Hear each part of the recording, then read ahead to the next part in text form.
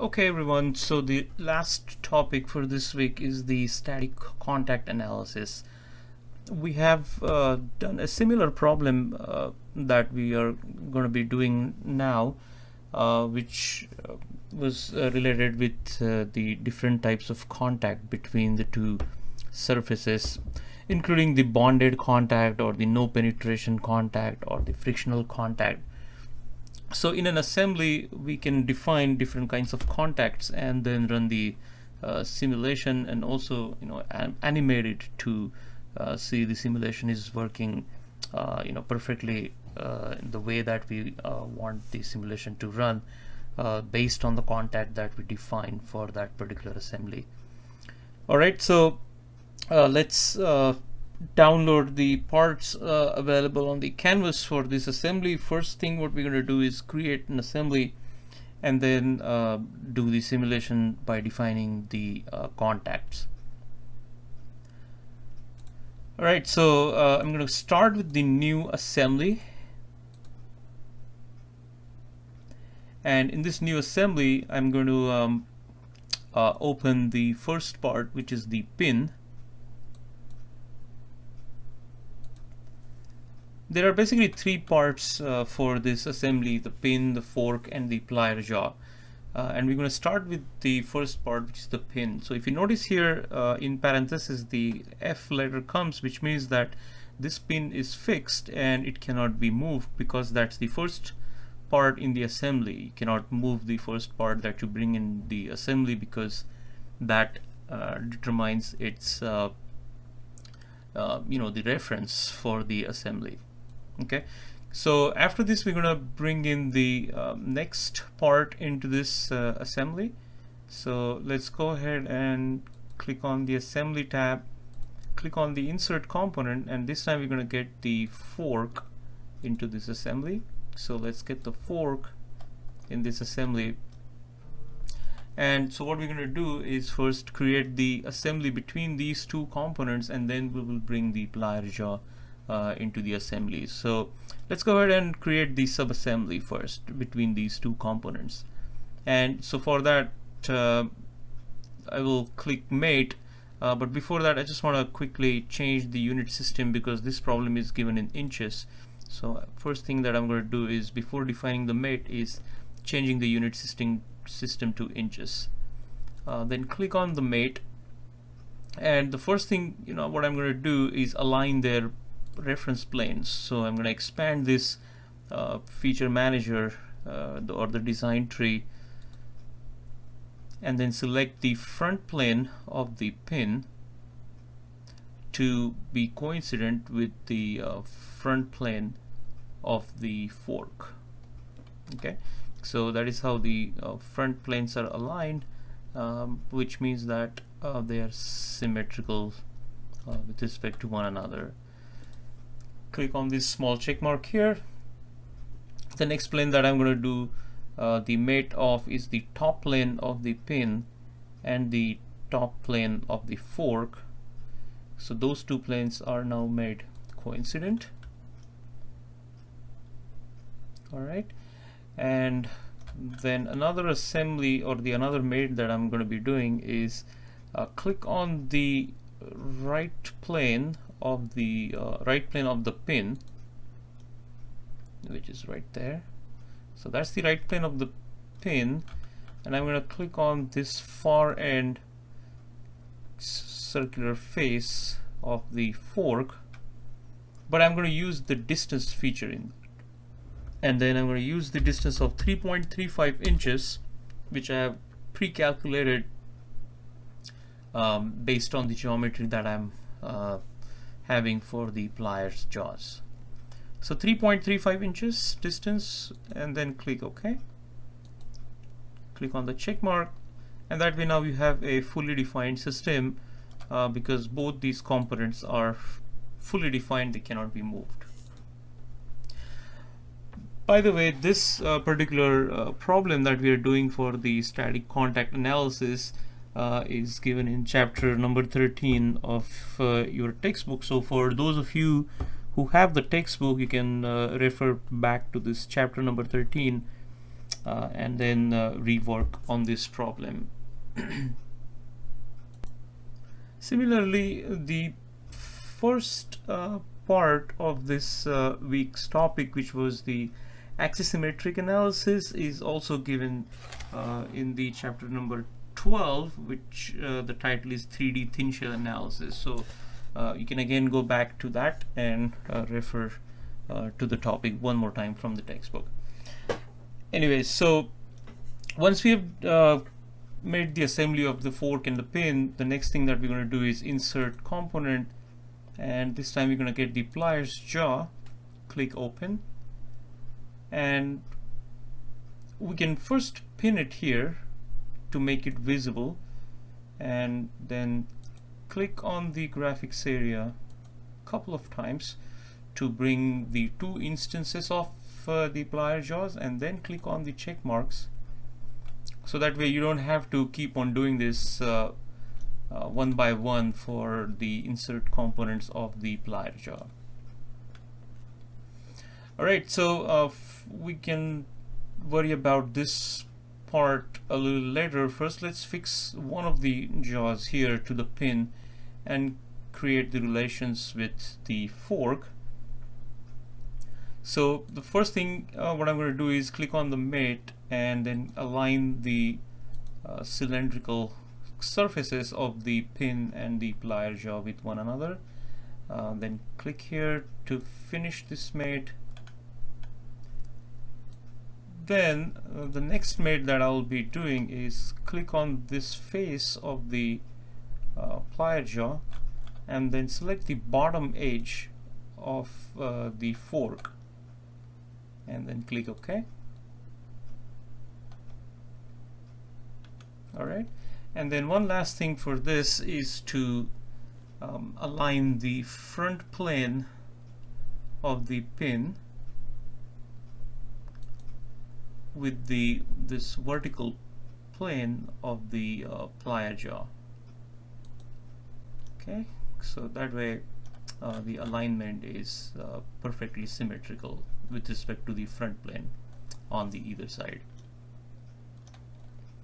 Alright, so that completes the uh, assembly of the first uh, plier jaw and now we will uh, take a look at the second plier jaw. So uh, we first need to turn it around so that it is uh, you know having the accurate alignment before we can start creating the mates.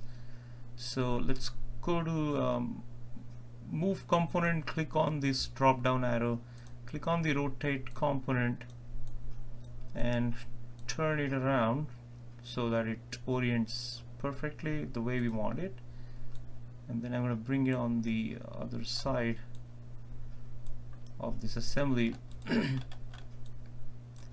and just like previously first thing I'm going to do is click on the mate click on this uh, cylindrical face of the pin and this inside hole of the plier jaw and then click OK. Just going to turn it a little bit.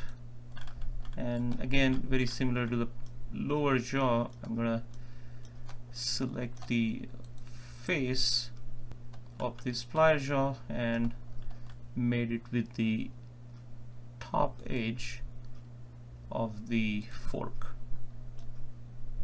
Okay.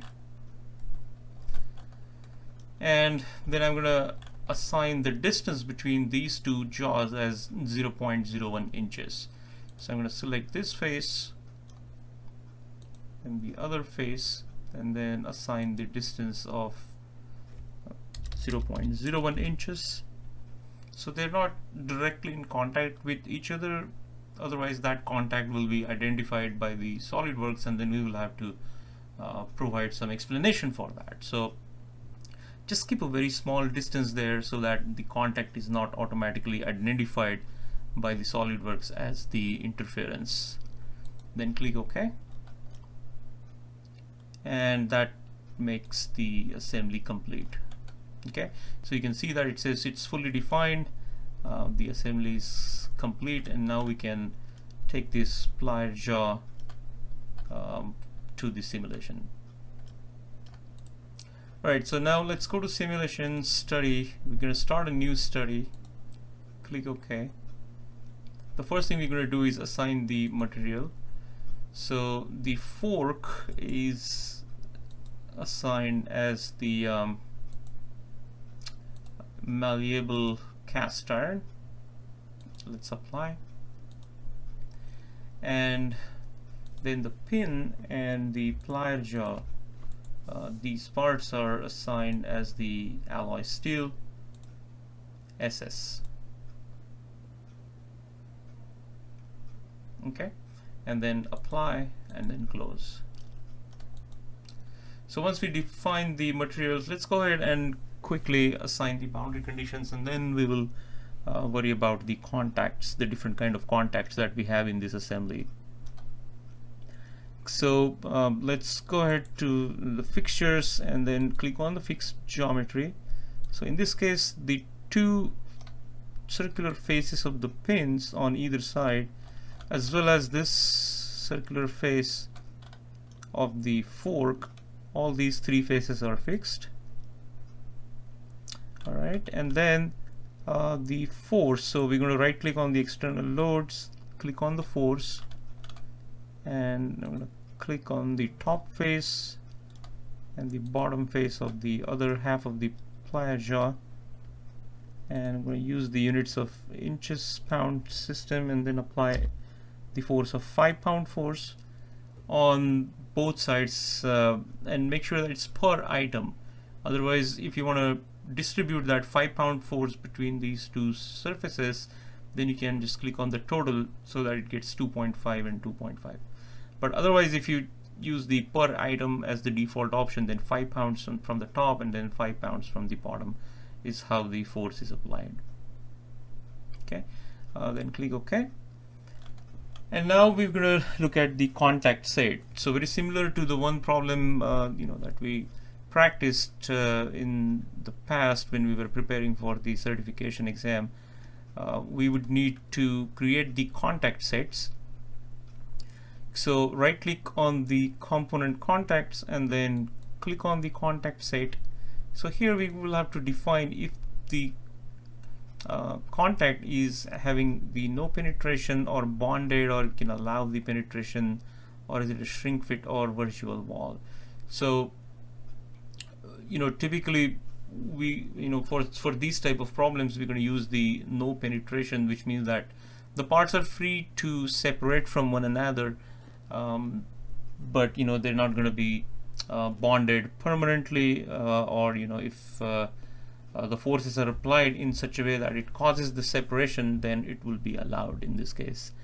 So no penetration is the contact we're going to use for all the surface contacts that we will be defining it here so the first uh, pair of contact is uh, the face of the lower jaw and the flat face oh sorry. Uh, make sure that we click on the other input window to create the contact between them. I'm going to click OK. And I'm going to repeat this procedure for the upper plier jaw as well and then click on the uh, contact for between them as the no penetration. And then the third one we need to define the contact between the pin and the inner cylindrical faces of the uh, plier jaws okay. Uh, we can also you know look at it by going into evaluate and click on the interference detection uh, for this assembly. And if we click on the option that says treat coincidence as the interference and let it calculate you can see that there are four interferences identified uh, by the SolidWorks. So you can you know take a look at this one by one. So that's so this contact we have already defined as no penetration. The um, this contact also we have defined as the no penetration. So remaining two contacts here is one here and one there. So the other um, you know half of uh, the uh, pin is having an interference with the one of the plier jaws and then um, where is this? So this side is having an interference with this left side plier jaw and then the right side of the plier jaw. So these two interferences now we need to take care of and then define the contacts uh, between them okay? So it's always a good idea to look at the interference detection and see how many uh, components are in contact with one another and are causing the interference that we want to uh, define the contact sets for them. So I'm going to right click on the contact set and uh, create uh, another contact set between you know these two now uh, the one which were identified by the interference detection. Uh, but I cannot really select the inner cylindrical uh, face of the plier jaws. So for that purpose I will have to uh, hide this pin component. So for uh, this input window and first thing that I'm going to do is select the uh, you know this outer cylindrical face of the pin. And then for the surface in contact with it is uh, something that I cannot select it right now because it's not visible. So I'm gonna um, right click uh, or rather yeah, let me let me do this one more time. So here it is and then I'm gonna select here the next input. And for the pin uh, I'm gonna hide it by right clicking on the pin. And once I hide it uh, then I can select those two uh, faces between the two uh, you know these two plier jaws okay so this is the surface outside cylindrical face of the pin and these are the two inner cylindrical faces of the plier jaws. So they're having again the no penetration contact so I'm gonna click OK here. Um, just gonna go to make sure that the pin is uh, you know again uh, visible. Uh, there are different ways to uh, you know do that uh, just see whichever way is easier for you. So I'm going to right click here and then show component. So the pin is displayed back again in the simulation window. And so once we have decided decided and defined all the contacts as we wanted uh, then the time to uh, come to the mesh. So I'm going to click on create mesh. Uh, for a parts you know complicated uh, geometries like this uh, we can always uh, go to the mesh parameters. If there are too many curvatures we can use the curvature based mesh or we can use the blended one if you have a lot of planar faces and the cylindrical faces. But here we can use the standard mesh and instead of 0.14 uh, as the element size I can use let's say 0.15 and based on that it adjusts it to 0.0075 um, inches as the tolerance for that. And then I'm going to click OK for creating the mesh. Okay you can again go ahead and uh, use the mesh control to refine the mesh size at the regions where you have uh, you know where, where you are expecting uh, higher stress concentration. But let's first uh, do a quick run of this uh, simulation and then uh, see if we get reliable results and if you get the results as you intended uh, then you can always go back and change the mesh size.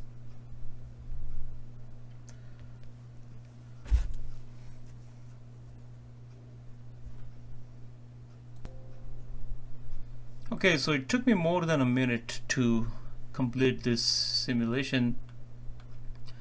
Uh, depending on the computational speed and the size of the mesh, uh, you know, your computational time could be different. Uh, but again, just quickly looking at this result, and obviously you can see that there are higher levels of stresses uh, in the region where there is a bend uh, in the fork, as you can see from these uh, results as well. Uh, first, quickly do the animation and uh, then see if you have the um, accurate representation of the simulation and you know it seems to have solved this uh, problem accurately enough. Uh, we don't really know about the numbers, but certainly from the qualitative aspects, the simulation seems to have uh, done a, a, fairly well job as you can see that there are a lot of high levels of stresses coming around here uh, near the region where there is a bend in this fork. And the extension is attached to the fork around that region which is quite expected. And uh, that's basically the first indication that your simulation is uh, running well. All right uh, the other you know quickly looking at a uh, couple of other things here. In such type of uh, contact analysis you can always uh, you know right click on the results and click on define stress plot. And you can always use the uh, contact pressure to plot it. So if I use this as a PSI make sure that uh, the vector plot is indicated and the true scale is also indicated when we create the contact pressure. Um, under the chart options I'm going to show the max uh, annotation because uh, I'm interested to know where is the most uh, contact pressure is being induced in this problem because of that applied force. Um, also in the settings uh, you may want to use this as the uh, mesh or not you know, it doesn't matter uh, unless you want to probe it so once I create the uh, you know the contact pressure plot uh, you can notice that the maximum contact pressure is uh, seems to be coming here. It really depends on uh, you know your uh, problem uh, that you know some of the times uh, you know depending on how the forces are applied you may get the maximum contact pressure around the region where the pin is also uh, attached to the plier jaws so you can identify the areas where the maximum contact pressures are uh, indicated in the problem Alright, so that's uh, pretty much for the static contact analysis uh, and then uh, we'll see you in the next video.